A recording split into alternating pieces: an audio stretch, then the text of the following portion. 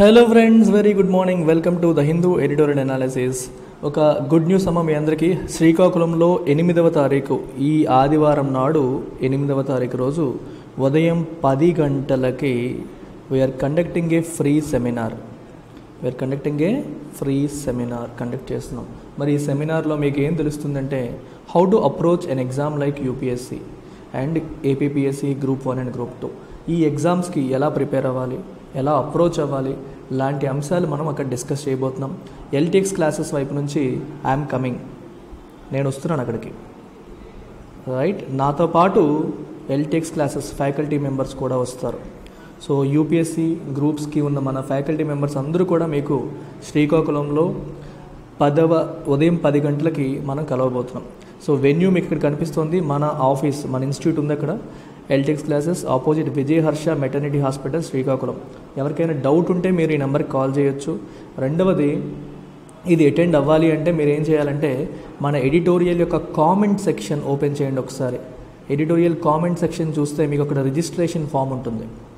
You will find registration form fill this up ఈ registration form మీరు fill చేయాలి. Fill చేస్తే అప్పుడు మీకు కాల్ వస్తుంది. Then you can come and attend the session seminar కంప్లీట్గా ఫ్రీ మీరు ఒక రూపాయి కూడా పే చేయాల్సిన అవసరం ఏమీ లేదు. ఇది కంప్లీట్గా ఫ్రీ సెషనే కాకపోతే మీరు రిజిస్ట్రేషన్ ఫామ్ అనేది ఫిల్ చేయాలి. ఇక్కడ మీకు ఇచ్చిన రిజిస్ట్రేషన్ ఫామ్ ఫిల్ ఇది ఎక్కడుంది? కామెంట్ సెక్షన్లో పిన్ చేసి ఉంటుంది.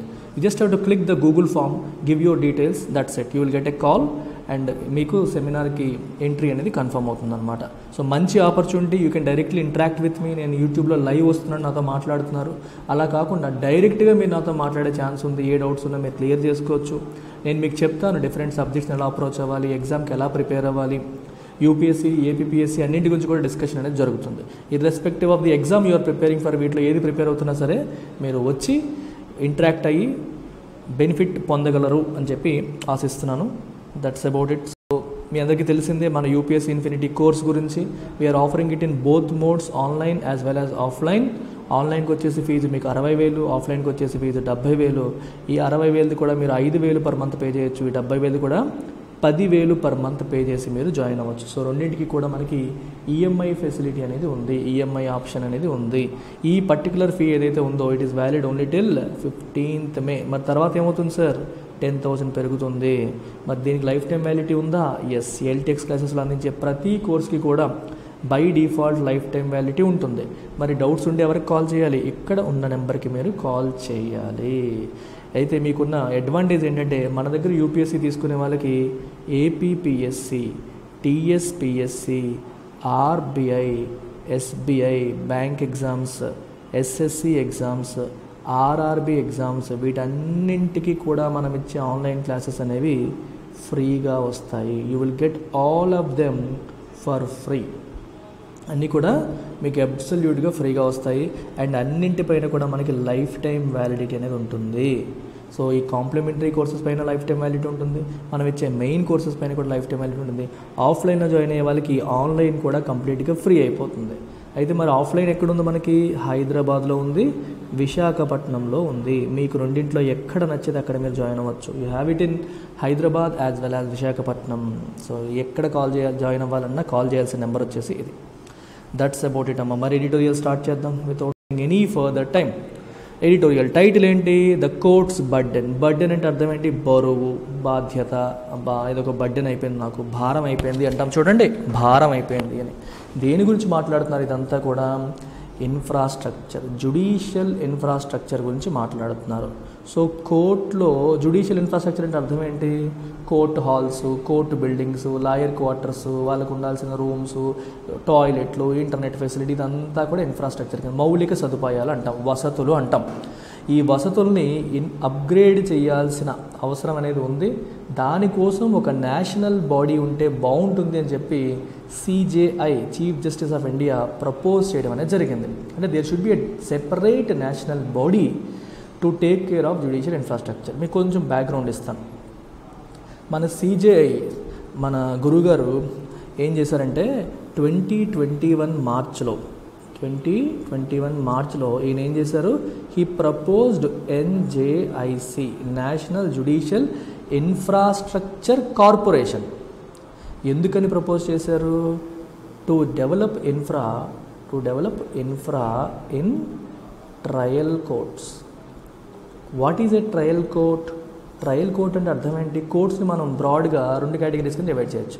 Trial court and appellate court appeal court లేదా అపిల్లేట్ అని చెప్పనొచ్చు ట్రయల్ అనొచ్చు.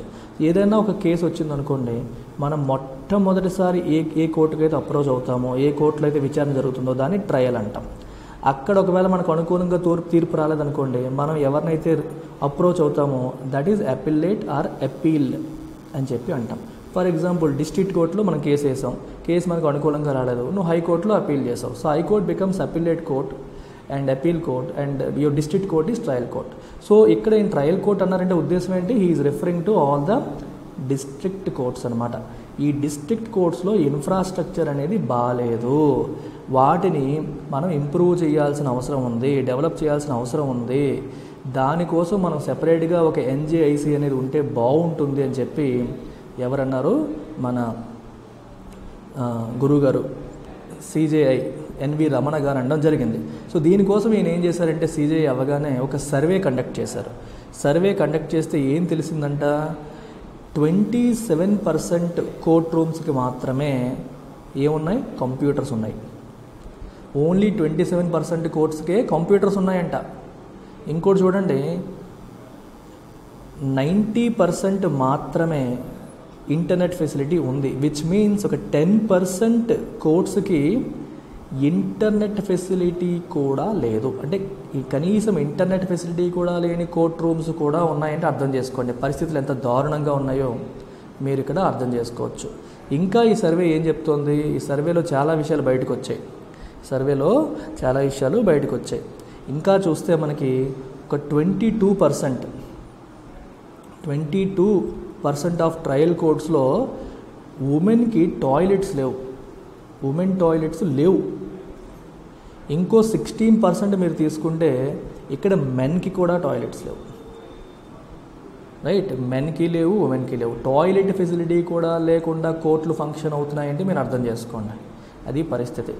సిక్స్ ట్వంటీ ప్రెమిసెస్ ఇవన్నీ అంటే ట్రయల్ కోర్ట్స్ రన్ అవుతున్న ప్రెమిసెస్ రెంటెడ్ ప్రెమిసెస్ అంటే ఓన్ బిల్డింగ్స్ కూడా వాళ్ళకి లేవు. అండ్ ఫిఫ్టీ ఫోర్ పర్సెంట్ వాళ్ళకి మాత్రమే బేసిక్ మెడికల్ ఫెసిలిటీస్ ఉన్నాయి. అంటే ఫార్టీ సిక్స్ పర్సెంట్కి బేసిక్ మెడికల్ ఫెసిలిటీస్ కూడా లేవని అర్థం. ఇది పరిస్థితి. సో ఇట్లాంటి సమస్యలతో కోర్టులన్నీ ఉన్నాయన్నమాట. మరి ఇన్ని సమస్యలు ఉండేటప్పుడు మరి ఏమవుతుంది మనకి? జ్యుడిషియరీ ఇష్యూస్ వస్తాయి.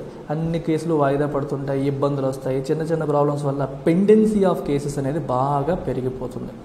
పెండెన్సీ ఆఫ్ కేసెస్ అనేది బాగా పెరిగిపోతూ ఇది ఒక పెద్ద డ్రాగ్ కింద తయారైపోతుంది అనమాట అయితే మరి సమస్య ఏంటి? ఎందుకు ఈ సమస్య ఉంది జ్యుడిషియరీలో రీజన్స్ ఏంటి అని చెప్పి మనం చూడాలి. Why all these situations are happening infrastructure లేకపోవడానికి గల కారణాలు ఏంటి అని చెప్పి మనం చూస్తే వీళ్ళు ఏమంటున్నారంటే ల్యాక్ ఆఫ్ ఫండ్స్ అని చెప్పి అంటున్నారు. ఫండ్స్ అనేవి లేవు కేటాయింపులు జరగట్లేదు అని చెప్పేది ఒక ప్రధానమైన రీజన్ అని చెప్పి చెప్తున్నారు. అయితే ఇక్కడ ఇంకో సమస్య కూడా ఉంది. కొన్నిసార్లు ఏమవుతుంది అంటే మనకి కొన్నిసార్లు ఏమవుతుందంటే మనకి రెండు ఇష్యూస్ ఉన్నాయి. ఈ జుడిషియల్ ఇన్ఫ్రాస్ట్రక్చర్ని డెవలప్ చేయడం కోసం గవర్నమెంట్ ఏం చేస్తుందంటే సెంట్రల్లీ స్పాన్సర్డ్ స్కీమ్స్ ద్వారా ఫండ్స్ ఇస్తుంది. సెంట్రల్లీ స్పాన్సర్డ్ స్కీమ్ ఇది మీరు గుర్తుపెట్టుకోవాల్సిన విషయం ఒకటి చూడండి. సెంట్రల్లీ స్పాన్సర్డ్ స్కీమ్ అంటే అర్థం ఏంటి? సెంట్రల్ గవర్నమెంట్ కొంత అమౌంట్ని కేటాయిస్తే స్టేట్ గవర్నమెంట్ ఇంకొంత అమౌంట్ని కేటాయించాలి. సెంట్రల్ సెక్టార్ స్కీమ్ అన్నాం అనుకోండి మొత్తం అంతా కూడా సెంట్రల్ గవర్నమెంటే ఇస్తుంది. సెంట్రల్లీ స్పాన్సర్డ్ స్కీమ్ అనుకోండి సెంట్రల్ గవర్నమెంట్ కొంత కేటాయిస్తుంది అండ్ ఇంకొంత స్టేట్ గవర్నమెంట్ అనేది కేటాయించాలి. మరి దీని ప్రకారం ఎంతెంత అంటే sixty percent centre forty percent state governments provide చేయాలి. North eastern countries north eastern states Himalayan states అయితే ninety percent centre ten percent state governments కేటాయింపులు చేయాలి అంటే ఆంధ్రాలో ఉన్న డిస్ట్రిక్ట్ కోర్ట్ని డెవలప్ చేయాలి అంటే దానికి funding sixty percent central government నుంచి ఫార్టీ పర్సెంట్ స్టేట్ గవర్నమెంట్ నుంచి రావాలి. విచిత్రం ఏంటంటే state governments are not coming forward వాళ్ళు వాళ్ళు ముందుకు రావట్లేదు. వాళ్ళ వైపు నుంచి వాళ్ళు ఇవ్వాల్సిన ఫండ్స్ అనేవి ఇవ్వట్లేదు. ఇది పెద్ద సమస్య అయిపోయింది. సో ఈ ఫండ్స్ కోసం ఇవ్వాల్సినవన్నీ కూడా ఏం చేస్తున్నారు వాళ్ళు? నాన్ జుడిషియల్ పర్పస్కి వెళ్ళిపోతున్నాయి. అంటే సెంటర్ దగ్గర తీసుకుంటారు కానీ ఈ దీనికోసం కేటాయింపులు చేయకుండా నాన్ జుడిషియల్ కోసం వేరే వాటి కోసం ఖర్చు పెట్టేస్తున్నారు. ఇది ఒకటి. రెండవది ఒకవేళ ఫండ్స్ వచ్చినా no one is taking responsibility responsibility of execution అంటే ప్రాజెక్ట్ ఎగ్జిక్యూషన్ మీద ఎవరు రెస్పాన్సిబిలిటీ తీసుకోవట్లేదు. No one is taking responsibility to execute the project మీకు అర్థమైందా? అండ్ జడ్జిలు ఉన్నారనుకోండి జడ్జిలు ఈ పని చూడలేరు. వర్క్ అవుతుందా లేదా చూడలేదు. ఎందుకంటే వాళ్ళు ట్రాన్స్ఫర్ అయిపోతూ ఉంటారు వేరే చోటికి వెళ్ళిపోతారు. సో డెడికేటెడ్గా ఒకవేళ ఫండ్స్ వచ్చినా ఫండ్స్ సద్వినియోగం అవుతున్నాయా స్పెండ్ అవుతున్నాయా ఖర్చు అవుతున్నాయా టైం ప్రకారం అవుతుందా లేదా చూడడానికి సూపర్వైజ్ చేయడానికి కూడా సూపర్వైజ్ చేయడానికి కూడా మనుషులు లేరు. అది పరిస్థితి. అందుకే వాళ్ళు అంటున్నారనమాట ఇష్యూ అనేది ఎలా ఉందంటే ఫండ్స్ రావడం రాకపోవడం అనేది ఒక సమస్య రెండో సమస్య ఏంటంటే హౌ టు స్పెండ్ వచ్చిన ఫండ్ని ఎలా స్పెండ్ చేయాలని సూపర్వైజ్ చేయడానికి కూడా there is no one no one to supervise how to spend the money అది కూడా లేదు. అలాంటి పరిస్థితుల్లో మనకి కనిపిస్తున్నాయి. ఇంకేం చెప్తున్నారంటే మనకి చూడండి ఒకసారి.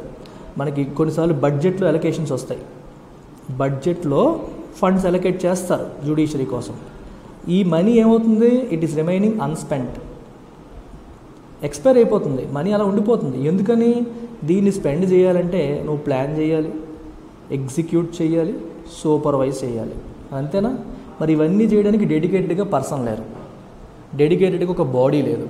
డెడికేటెడ్గా జడ్జిలు ఇవన్నీ చేయలేరు. గవర్నమెంట్ పట్టించుకోదు. ఇంట్రెస్ట్ చూపట్లేదు. అందుకని చెప్పే NJIC national judicial infrastructure corporation అనేదాన్ని ఒకటి సుప్రీంకోర్టులో ఒక చట్టం చేయడం ద్వారా తీసుకొద్దాము అంటే స్టాట్యూటరీ. ఒక చట్టం చేయడం ద్వారా స్టాట్యూట్ అంటే చట్టం. ఒక స్టాట్యూటరీ బాడీ కింద దీన్ని క్రియేట్ చేద్దాము. సో ఈ particular body will be responsible for planning execution supervision of judicial infrastructure అని చెప్పి ఈయన ప్రపోజ్ చేయడం అనేది జరిగింది. సో ఇది జుడిషియల్ ఎన్జేఐసి యొక్క కథ. ఎందుకు ఏం చేయాలి రమణ గారి ఆలోచనలు ఏంటి అవన్నీ మీకు ఇక్కడ చెప్పేశాను. So this is what you have To understand here so now let's go through this It is unfortunate that the proposal by the Chief Justice of India for a national judicial infrastructure corporation with corresponding bodies at the state level did not find favor with many chief ministers at the recent joint conference of chief justices and chief ministers. రీసెంట్గా high court chief justices మరియు supreme court chief justice అలాగే రాష్ట్రాల ముఖ్యమంత్రులకి మధ్యలో ఒక conference జరిగింది. ఒక meeting అనేది జరిగింది. అన్ఫార్చునేట్లీ అన్ఫార్చునేట్లీ సమస్య ఏంటి అంటే ఈ మీటింగ్ అనేది జరిగింది. జరిగినప్పటికీ సమస్య ఎక్కడ వచ్చింది మనకి? ఇందులో ఈయన ప్రపోజ్ చేశారు. ఏం ప్రపోజ్ చేశారు? నేషనల్ జ్యుడిషియల్ ఇన్ఫ్రాస్ట్రక్చర్ కార్పొరేషన్ అనేది పెట్టాలి అని చెప్పి ప్రపోజ్ చేశారు. With corresponding bodies at the state level. అంటే అర్థం ఏంటి? స్టేట్ జ్యుడిషియల్ ఇన్ఫ్రాస్ట్రక్చర్ కార్పొరేషన్ కూడా ఉంటుంది. ఒక నేషనల్ ఉంటుంది మళ్ళీ ప్రతి స్టేట్లో ఒక స్టేట్ జ్యుడిషియల్ ఇన్ఫ్రాస్ట్రక్చర్ కార్పొరేషన్ అనేది ఉంటుంది. ఇది దిస్ ది స్ట్రక్చర్ అంతా కూడా మనకి జ్యుడిషియల్ ఇన్ఫ్రాస్ట్రక్చర్ వర్క్ జరుగుతుందా జరగట్లేదా లాంటి అంశాలు చూస్తుంది చూస్తారు అని చెప్పి చెప్పడం జరిగింది. అయితే అన్ఫార్చునేట్లీ దానికి చీఫ్ మినిస్టర్స్ ఫేవరబుల్గా లేరు. They did not find favour అంటే మీనింగ్ అది. వాళ్ళు చీఫ్ మినిస్టర్స్ ఈ విషయంలో ఫేవరబుల్గా లేరు అని అర్థం. A special purpose vehicle vested with statutory powers to plan and implement infrastructure projects for the judiciary would have been immensely helpful in augmenting facilities for the judiciary given the inadequacies in court complexes across the country చూడండి ఇక్కడ ఏం రాశారో. సెపరేట్గా ఒక body create చేసి దానికి statutory పవర్స్ని vest చేస్తే స్టాట్యూటరీ పవర్స్ అంటే అర్థం ఏంటి?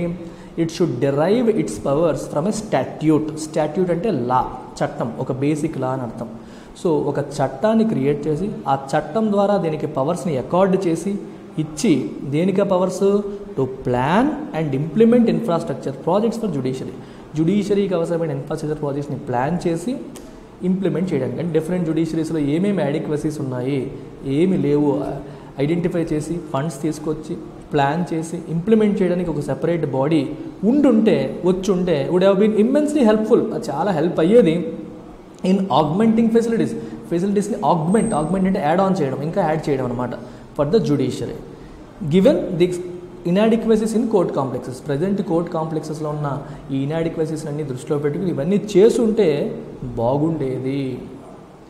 హౌవెవర్ అయితే it is a matter of relief that there was agreement on the idea of state level bodies for the same purpose with representation to the chief ministers so that they are fully involved in the implementation.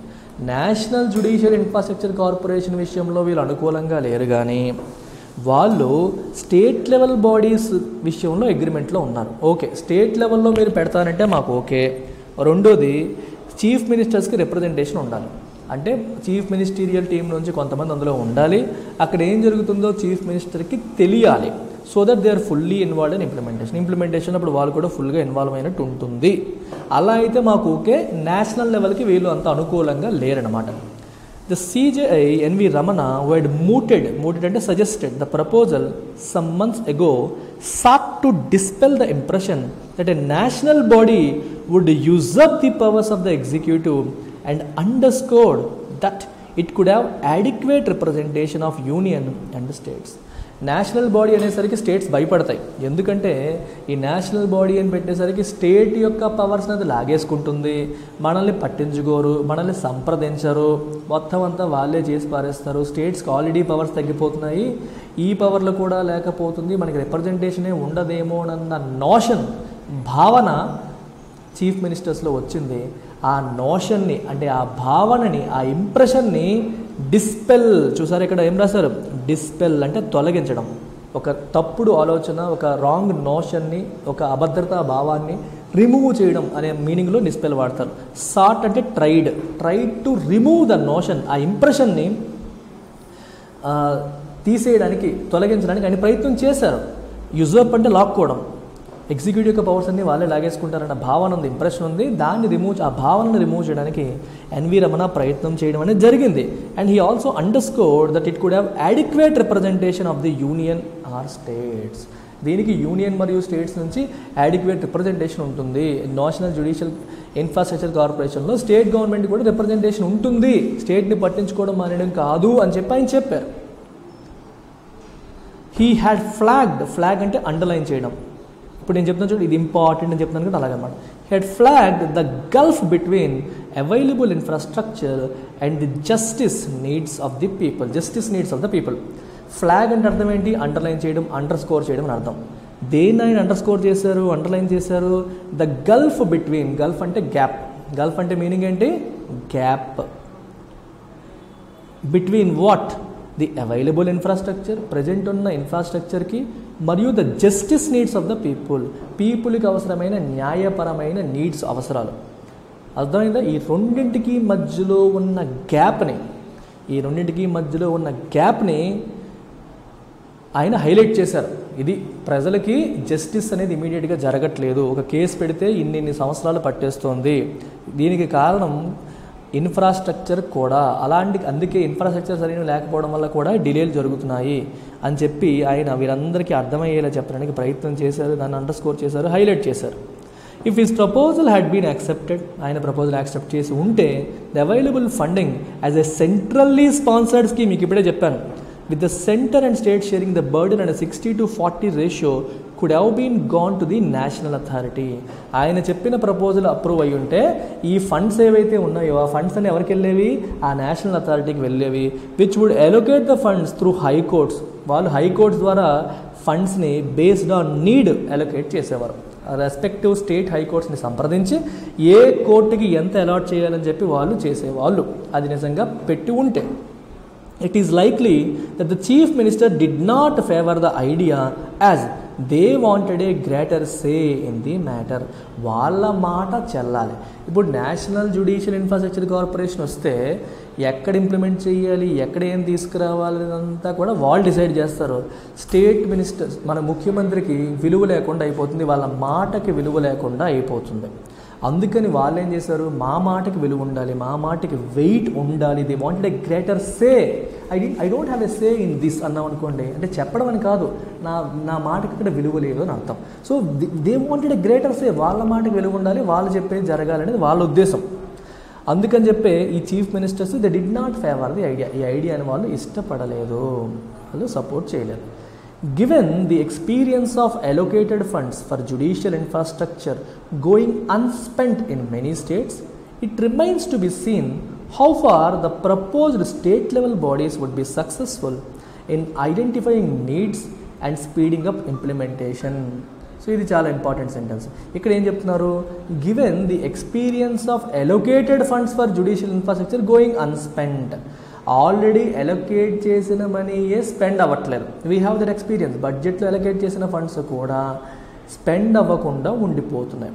So it remains to be seen how far the proposed state level bodies would be successful in identifying the needs and speeding up the implementation funds లేవని అనుకోవడానికి కూడా లేదు. ఏదో funds ఇచ్చినప్పటికీ కూడా అది implement అవ్వట్లేదు ఇప్పుడు. మరి ఈ స్టేట్ లెవెల్ బాడీస్ వస్తే అవి నిజంగా ఎంత సక్సెస్ అవుతాయి అనేది it will be interesting to see. అసలు నీడ్స్ని ఐడెంటిఫై చేసి ఇంప్లిమెంటేషన్ స్పీడప్ చేయడంలో వాళ్ళు ఎంత సక్సెస్ఫుల్ అవుతారు అనేది we have to wait and see we cannot say hundred percent మనం చెప్పలేం. We have to wait and see propose state level bodies ఎంత సక్సెస్ అవుతాయి అనేది మనం చూడలేం. చూడాలి. It will naturally require greater coordination between states and the respective high courts so స్టేట్స్కి మరి హైకోర్ట్స్కి కోఆర్డినేషన్ కావాలి? ఎందుకంటే హైకోర్టుకి తెలియకుండా ఏమీ జరగదు. డిస్ట్రిక్ట్ కోర్ట్స్ అన్ని హైకోర్టుకి రిపోర్ట్ చేస్తూ ఉంటాయి. సో ఏ కోర్టుకి ఏది అవసరం అనేది హైకోర్టు డిసైడ్ చేస్తుంది. సో స్టేట్ గవర్నమెంట్ హైకోర్టుతో కోఆర్డినేషన్ అనేది చేయాల్సి ఉంటుంది. Union law minister Kiran Rijiju has promised assistance from centre to the states for creating the required infrastructure ఈయన ఏం చెప్పారంటే మేము అసిస్టెన్స్ ఇస్తాం హెల్ప్ చేస్తాం. అసిస్టెన్స్ అంటే సహాయం. చేస్తామని చెప్పి ఆయన ప్రామిస్ చేయడం జరిగింది. Especially for the lower judiciary ఈ డిస్ట్రిక్ట్ లెవెల్ కోర్ట్స్కి మేము సపోర్ట్ చేస్తాము ఫండ్స్ ఇస్తామని ఆయన మాట ఇవ్వడం అనేది జరిగింది. While it is a welcome sign the focus is on infrastructure unmitigated pendency chronic short sorry while it is a welcome sign that the focus is on infrastructure infrastructure పైన focus చేయడం అనేది ఆహ్వానించదగ్గ సూచన అయినప్పటికీ మంచిదే. ఇన్ఫ్రాస్ట్రక్చర్ మీద ఎప్పుడైనా దృష్టి పెడుతున్నారు. కానీ అన్మిటిగేటెడ్ పెండెన్సీ కేసులు బాగా పెండింగ్ ఉండడం అనేది మిటిగేట్ అవ్వట్లేదు తగ్గట్లేదు. అంటే ఎప్పటికీ తగ్గకుండా పెరిగిపోతున్న కేసులు క్రానిక్ షార్టేజ్ ఆఫ్ జడ్జెస్ జడ్జిలు ఎప్పుడు కూడా వేకెన్సీలు ఉండిపోతున్నాయి ఫిల్ అవ్వట్లా. సో క్రానిక్గా వేకెన్సీస్ ఫిల్ అవ్వకుండా ఉండిపోవడం the burgeoning docket size remain major challenges and పెరిగిపోతున్న కేసుల లిస్టు బర్జనింగ్ అంటే బాగా పెరిగిపోతుంది రోజువారీ కోట్లకు వస్తున్న కేసులు పెరిగిపోతున్నాయి. ఉన్నవి ఇంప్లిమెంట్ అవ్వట్లేదు. ఇలాంటి సమస్యలు అనేవి మేజర్ ఛాలెంజెస్గా ఉన్నాయి. CJ Ramana flagged some aspects of the government's contribution to the burden of judiciary ఈయన ఏమంటున్నారు some aspects of government's contribution to the burden of judiciary చూడండి. ఈ మాట కూడా చాలా ఇంపార్టెంట్ ఇక్కడ ఏమంటున్నారంటే బడ్డెన్ అంటే అర్థం ఏంటి? భారం. జుడిషియరీకి ఒక పెద్ద భారం అయిపోతుంది. ఏంటది? కేసులో భారం. ఎక్కువ కేసులు అయిపోయి భారం అయిపోతుంది. ఈ భారం పెరగడానికి గవర్నమెంట్ పనులు కూడా కొన్ని కారణం అవుతున్నాయి అంటే మాకింత భారం పెరిగిపోవడం పెరిగిపోయే విషయంలో గవర్నమెంట్ కాంట్రిబ్యూషన్ కూడా ఉంది. పాజిటివ్గా కాదు నెగిటివ్గా ఏ రకంగా? The failure or unwillingness to implement court orders living crucial questions to be decided by the courts and the absence of forethought and broad based consultation before passing legislation. చూడండి చాలా important aspect ఇక్కడ ఏమంటారంటే governments court ఇచ్చిన ఆర్డర్స్ని implement చేయట్లేదు సరిగ్గా. Unwillingness చూపిస్తున్నాయి. Court చెప్పింది follow అవ్వడానికి ఇంట్రెస్ట్ చూపట్లేదు ఇది ఒక పెద్ద సమస్య అయిపోతుంది మాకు. సో మీరు ఎప్పుడైతే కోర్టు చెప్పింది ఫాలో అవ్వట్లేదో నిర్ణయాలు కోర్టే తీసుకోవాల్సి వస్తుంది. సో కోర్టే నిర్ణయాలు తీసుకోవాల్సిన పరిస్థితి వస్తుంది. ఆబ్సెన్స్ ఆఫ్ ఫోర్ థాట్ అంటే ముందు చూపు లేకపోవడం బ్రాడ్ బేస్డ్ కన్సల్టేషన్ ఒక చట్టాన్ని మనం పాస్ చేసేటప్పుడు ముందు చూపు లేకుండా కన్సల్టేషన్స్ లేకుండా చట్టాలు గవర్నమెంట్స్ పాస్ చేస్తున్నాయి. అలా చేయడం వల్ల కూడా కేసుల మీద కేసులు కోర్టుకు వచ్చేస్తున్నాయి అన్ని రకాల సమస్యల్ని ముందే ఆలోచించి సమస్యల్ని ముందే ఊహించి వాటికి పరిష్కారంతో పాటు మీరు చట్టాలని తయారు చేసుంటే కోర్టుకు వచ్చే కేసుల సంఖ్య తగ్గేది. అన్ఫార్చునేట్లీ గవర్నమెంట్ ఇలాంటి ఫోర్ థాట్ లేకుండా చేయడం వల్ల it is leading to a lot of pendency of cases pendency of కేసెస్కి అది కారణం అయిపోతుంది సో దీనివల్ల కూడా కోర్టులకి భారం పెరుగుతోందని చెప్పి ఆయన అంటున్నారు. While this may be unpalatable to the executive unpalatable అంటే రుచించకపోవడం. డజంట్ టేస్ట్ గుడ్ అంటే ఒక మాట ఒక కామెంట్ చెప్పినప్పుడు అది మనకి నచ్చలేదు అనుకోండి ఇబ్బంది పెడుతుంది అనుకోండి ఇట్ ఈస్ అన్పెలెటబుల్ అంటారు. అంటే అది ఎగ్జిక్యూటివ్కి రుచించకపోయినప్పటికీ ఎగ్జిక్యూటివ్ అంటే అర్థం ఏంటి? మీరు వినుంటారు ఎప్పుడు? లెజిస్లేచర్ ఎగ్జిక్యూటివ్ జ్యుడిషియరీ లెజిస్లేచర్ ఏం చేస్తుంది? చట్టాలు చేస్తుంది. ఇట్ మేక్స్ లాస్ ఎగ్జిక్యూటివ్ ఏం చేస్తుంది? ఇట్ ఇంప్లిమెంట్స్ లాస్ జుడిషియరీ ఏం చేస్తుంది? It protects laws or it defends laws అంటే చట్టానికి వ్యతిరేకంగా ఎవరన్నా చేస్తే అది చట్ట ప్రకారం వాళ్ళకి శిక్ష పడేలా చేస్తుంది. It also resolves disputes dispute resolution అనేది జ్యుడిషియరీ చేస్తుంది. మరి ఎగ్జిక్యూటివ్ అంటే ఎవరు? సెంట్రల్ లెవెల్లో prime minister and council of ministers state లెవెల్లో chief minister and council of ministers వీళ్ళని మనం ఏ ఎగ్జిక్యూటివ్ అంటాము? We call them political executive we call them political executive ఇందులో ఉన్న వాళ్ళందరూ ఎవరు? పొలిటీషియన్స్ మరి పొలిటికల్ ఎగ్జిక్యూటివ్ అనే పదం ఉపయోగించారంటే ఇంకో టైప్ ఆఫ్ ఎగ్జిక్యూటివ్ కూడా ఉందా? ఉంది.